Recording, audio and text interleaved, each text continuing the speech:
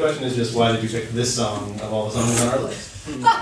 Uh-oh, is That's there a funny funny. story? It was literally forced upon us. Spoon fed us because we couldn't do pony. Yeah, well, Charlene's mad because we didn't do Genu- Ginuwine, but I, I think we probably, we tend to pick covers that are pretty simple because what we do is really complicated, and so there's sort of a lot of space to go. Yeah, and This this was so brass or- simple. Yeah. It Uh, it starts with this sort of iconic bass line, but there's, there's no bass. Right, right, right, yeah, that's what I think. No Just bass. challenging yourself No no bass? yeah.